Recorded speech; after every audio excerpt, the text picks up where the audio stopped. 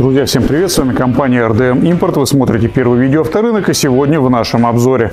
При моих метр восемьдесят я разместился здесь довольно удобно. С таким двигателем жук разгоняется до 100 км в час за 11 секунд. Здесь в буквальном смысле присутствует огромная пластиковая корыта. Рулевая рейка на жуке электрическая и, кстати, ходит весьма неплохо.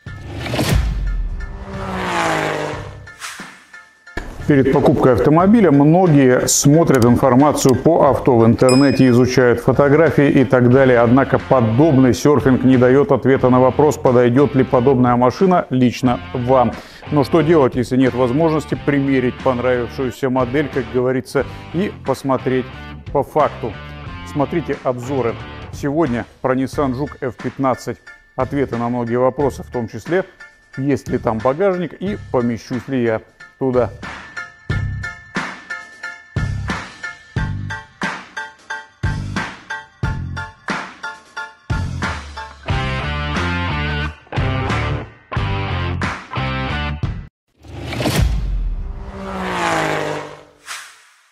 Первое поколение Nissan Juke с кузовным индексом F15 продавалось на российском рынке с 2011 по 2020 годы. При этом в 2014 году автомобиль прошел через рестайлинг, в ходе которого слегка обновили внешность. А также сменилась модель вариаторной коробки передач. Российский потребитель мог купить этот автомобиль с двумя вариантами моторов, оба бензиновых и оба объемом 1,6 литра, 117 лошадиных сил в атмосферном исполнении и 190 либо 200 в варианте с турбонаддувом. И это разные моторы, не относящиеся к одной серии. Коробки передач либо механические, либо вариаторные по типу привода Nissan Juke мог быть как передне, так и полноприводным, если речь идет про турбо-модель. У нас на обзоре 2011 год это атмосферный 1.6 с вариатором и передним приводом.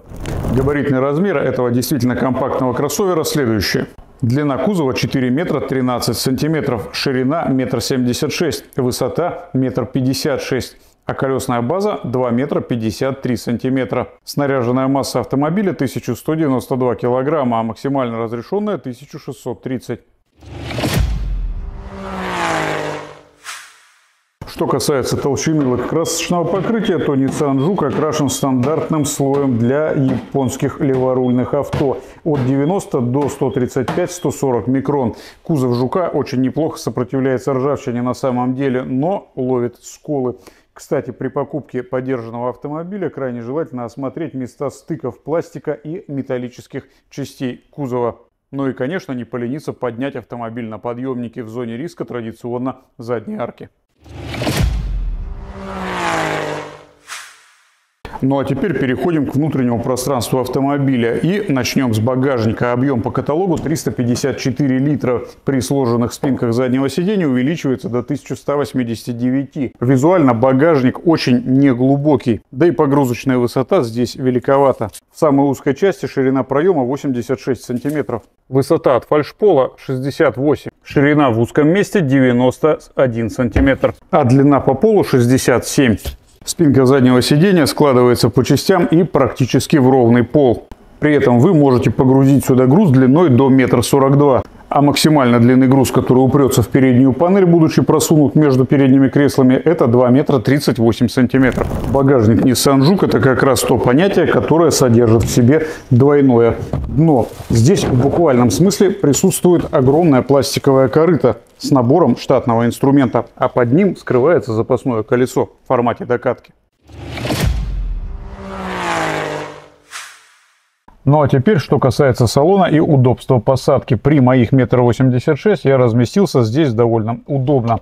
Рулевая колонка имеет механическую регулировку, причем только в одной плоскости. По вылету руль не регулируется. Зато диапазон регулировки сидения здесь достаточно большой. И когда я полностью отодвигаюсь назад, я могу выпрямить левую ногу в колене, дотянувшись носком до моторного щита. Кресла у этого кроссовера имеют тонкий намек на спортивность. Здесь есть намеки на боковую поддержку на спинке и на подушке сидения. Также здесь имеется регулировка сидения водителя по высоте, но чтобы ей нормально воспользоваться, придется открыть дверь, поскольку зазор между самим сиденьем и подлокотником маловат. И чтобы просунуть сюда руку, придется изловчиться. Ощущения сверхпростора в плане ширины здесь нет.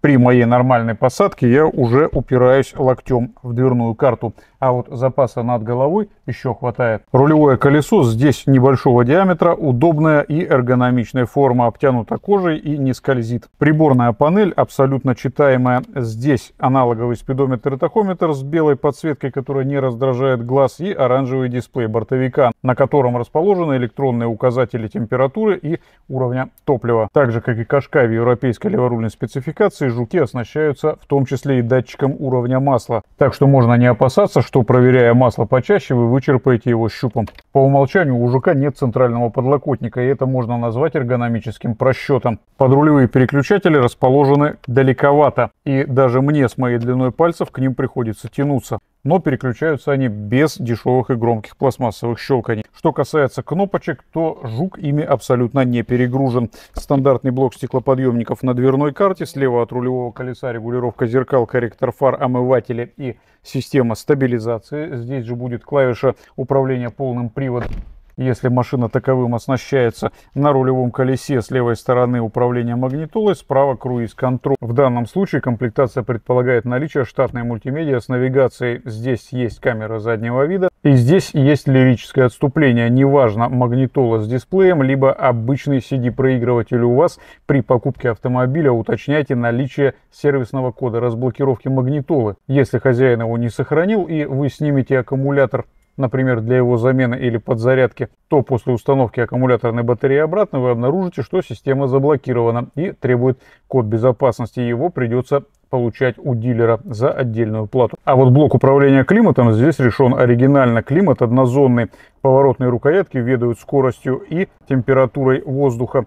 При помощи клавиш переключаются направления обдува. И, кстати, проверяйте эти вещи, поскольку на жуках очень часто отказывают именно заслонки воздухосмесителя, в результате чего вы остаетесь, например, с потоками воздуха только на стекло и в ноги и не имеете больше возможности их переключать. Также именно на Nissan Juke в 2011 году появилась фишка, которую сейчас преподносят как новаторскую находку на корейских автомобилях. При нажатии клавиши D-Mode вы полностью смените назначение всех остальных клавиш, поменяются надписи и функционал. В данном случае это управление режимами работы автомобиля, обычный, спортивный, либо экономичный. Также есть информация по расходу топлива, индикатор перегрузок, в общем-то не очевидно зачем он нужен на атмосферном варианте, и меню настроек самого дисплея. Внизу располагается AUX выход и USB разъем и 12-вольтовая розетка с заглушкой вместо прикуривателя. Селектор коробки передач, в данном случае вариатора у нас классический, это прямая прорезь. И обычный механический стояночный тормоз. Дальше всего ниссановцы упрятали клавиши управления подогревом сидений. И если владелец поставил сюда нештатный подлокотник, то клавиши эти окажутся уже не в столь удобном доступе. Что касается подстаканников, бардачков и так далее, в данном случае есть очень узенькая и не очень полезная полочка перед селектором. Два подстаканника в центральной консоли, в один из которых можно поставить пепельницу. И вместо бокса в центральном тоннеле очень небольшое углубление, которым также могут пользоваться и задние пассажиры. Зато в этом автомобиле абсолютно бездонный и безразмерный бардачок. Вот в таком положении мне удается дотянуться до его задней стенки. Так что сюда войдет не только формат А4, но и, скажем так, большая советская энциклопедия. Причем, вполне возможно, два ее тома. Внизу дверных карт производитель предусмотрел узенькие кармашки, передняя часть которых отформована под бутылку с напитком. А вот в том, что касается обзорности, впечатления смешанные. Однозначным плюсом здесь будут огромные наружные зеркала. Они настолько информативные и большие, что подошли бы и внедорожнику покрупнее. Маневрированием в потоке и парковкой никаких проблем нет. Обзорность назад очень здорово зависит от наличия либо отсутствия в комплектации камеры заднего вида. Если ее нет, придется туго. Так что лучше будет ей автомобиль дооснастить. А вот лобовое стекло здесь достаточно узкое. Плюс передние стойки крайне широкие и вполне могут ограничивать обзор при маневрировании. Зато именно этот автомобиль может похвастаться видимыми передними габаритами. Вы в любом случае видите выступающую часть фары, по которой можно ориентироваться при парковке. Так что привыкнуть к габаритам Nissan Juke получится быстро и даже у неопытного водителя. Что касается заднего сидения, места над головой, здесь достаточно места для ступней под передними креслами. Тоже здесь можно буквально пританцовывать. Тоннель на полу есть, но он очень небольшой. Само сиденье представляет собой практически плоскую скамейку. Немного отформована, является только спинка. Никаких дополнительных откидных подлокотников в центральной части не предусмотрено из приятного крепления типа изофикс для детских сидений. При моем росте и посадке сам за собой я упираюсь коленями в переднее сиденье. Правда, оно при этом мягкое и подобный контакт не дискомфортен. Если у водителя и переднего пассажира подлокотники на дверных картах обтянуты тканью, то здесь, увы, жесткий пластик. Да и кармашек внизу двери здесь отформован только под одну бутылочку, либо стакан. Коротко об агрегатах. Под капотом российских «Жуков» стояли двигатели объемом 1,6 литра, оба бензиновых. Младший по мощности мотор выдает 117 лошадиных сил и 156 ньютонометров крутящего момента. С таким двигателем «Жук» разгоняется до 100 км в час за 11 секунд, если говорить про вариаторную версию, а максимальная скорость составляет 178 км в час. Маркировка такого мотора HR16DE. Именно этот двигатель вы можете обнаружить под капотом таких бестселлеров, как, например, Nissan Note E11 или Nissan Tiida. Это рядная четверка с двумя верхними распредвалами, без гидрокомпенсаторов, с распределенным впрыском топлива и цепным приводом газораспределительного механизма. Мотор надежный, но на больших пробегах скажем, за 200 может быть склонен подъедать масло, поэтому на дымность лучше проверить автомобиль перед покупкой. Более мощный агрегат, выдающий 190 либо 200 лошадиных сил и 240 или 250 ньютонометров крутящего момента в зависимости от модификации, это MR16DDT.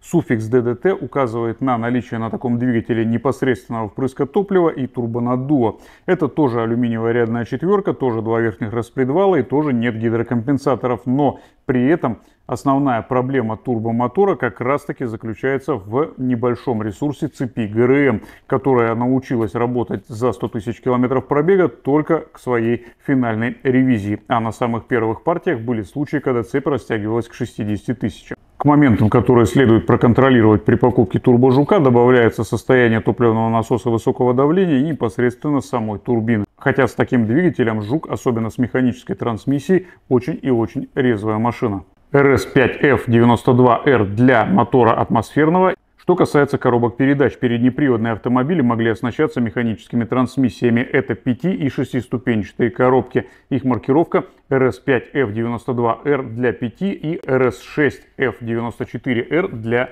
6 ступки. Обе коробки хорошие, отличаются неплохим ресурсом, крайне редко в пятиступках гудят подшипники и ток большим пробегом, и по сути владельцы могут посетовать разве что на чувствительный к холоду механизм выбора передач. Шестиступенчатая коробка традиционно считается чуть покрепче, хотя она имеет уже двухмассовый маховик и в случае, если дело дойдет до его замены, этот ремонт влетит в копейку. Что касается вариаторных трансмиссий, то их на жуках стояло аж три разновидности. Дорестайлинговые автомобили имели под капотом либо вариатор Jatka GF015E для переднеприводного атмосферного варианта, либо Jatka GF011E для варианта с 4WD, то есть с турбонаддувом. Более старая коробка 0.11, которая стоит на турбожуках, в целом покрепче и надежнее, чем 0.15. Вот именно с 15-й трансмиссией были связаны те самые случаи выхода коробки из строек пробегом 50-60 тысяч километров на машинах первых партий. Однако компания Nissan, неоднократно ее модернизируя, все же добилась какой-никакой приемлемой надежности после 2015 года когда на Nissan Juke эту трансмиссию уже давно сменил вариатор модификации 0.16. Он получился неплохим и свои 250 тысяч километров пробега способен отъездить при условии должного обслуживания. А вот в ремонте 0.16 коробка будет гораздо дороже. Не стоит пугаться атмосферных переднеприводных машин, ведь большинство из них уже так или иначе прошли через ремонт вариатора, в ходе которого используются, как правило, ревизионные, более долговечные запасные части. Давайте посмотрим, как обстоят дела с дорожным просветом. Минимальная высота здесь под защитой моторного отсека и от асфальта до нее 16 сантиметров. Край переднего бампера в 20 сантиметрах от асфальта, плюс это пластиковая неокрашенная часть, которую, если что, можно относительно быстро и недорого привести в товарный вид. До порога за передним колесом 21 сантиметр. В задней части 24, до брызговика 19 ну а край заднего бампера находится на отметке 31 см от поверхности асфальта. С геометрической проходимостью у этого легкового, напомним, автомобиля все в целом в порядке. Что касается ходовой части, этот автомобиль построен по классической схеме для всех современных бюджетных авто. Передняя подвеска в данном случае это Макферсон, шаровые опоры с рычагами меняются по задумке производителя в сборе. Стабилизатор поперечной устойчивости закреплен сверху на подрамнике. Подобраться к его креплениям для замены втулок дело достаточно трудоемкое, поэтому, скорее всего, проще будет просто частично демонтировать сам подрамник. Рулевая рейка на жуке электрическая и, кстати, ходит весьма неплохо. Но если на автомобиле при езде вы чувствуете постукивание в руле при проезде мелких неровностей, проблема может крыться не в самой рулевой рейке, а в рулевом валу его сочленения как раз таки не отличаются повышенной живучестью. Так же, как и на большинстве моделей Nissan, не стоит пугаться и протяжного заунывного скрипа при вращении рулевого колеса. Его издает пыльник рулевого вала, который зачастую бывает достаточно обработать чем-то типа силиконовой смазки. Что касается антикоррозийной обработки, то этот автомобиль, как и большинство машин, продаваемых официально на российском рынке, имеет антикоррозийную обработку по днищу в том числе. Единственный момент, сама отбортовка порога в данном случае ничем не закрыта. Пластиковых защит здесь нет, а вот термоэкраны присутствуют. В задней части автомобиля располагается пластиковый топливный бак, его объем 46 литров. Что касается задней подвески, то у переднеприводного жука в данном случае будет самая обычная балка подвеска зависимая. И по сути особо выходить из строя здесь нечему. Пружина и амортизатор стоят отдельно друг от друга, задние тормоза кстати говоря, дисковые. Что касается полноприводных разновидностей, то у таких автомобилей интересная конструкция самого полного привода. Она напоминает по своему конструктиву Honda Pilot, так как у турбо-жуков с полным приводом целых две муфты, каждая ответственна за свою полуось. Подобная схема позволяет более гибко варьировать крутящий момент между колесами и добиваться лучшей управляемости в поворотах под тягой. На этом наш обзор подошел к своему завершению. Надеемся, у вас появилось понимание, что собой представляет кроссовер Nissan Juke в целом и подойдет ли он вам. Хотя окончательное решение, конечно, вы будете принимать после очного знакомства и тест-драйва. Если заинтересовал конкретный экземпляр, который был сегодня на подъемнике, напоминаем, это 2011 год, 1.6 атмосферник передний привод с небольшим родным пробегом. Пишите, номер телефона указан в описании под видеороликом. На нем же есть WhatsApp. Так что, если есть вопросы, задавайте их. Если обзор понравился, оказался полезен, ставьте лайки, подписывайтесь на канал. А сейчас спасибо за просмотр и до новых встреч. Пока.